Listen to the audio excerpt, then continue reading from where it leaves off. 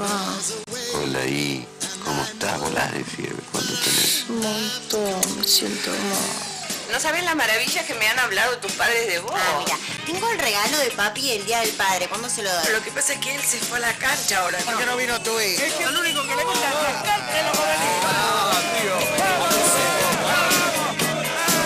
Vení para acá, vení para acá. ¿Qué haces, loca? ¿Estás choreando? ¿Quién es ese pibe? No, para chorar. Martín, ¿quién es?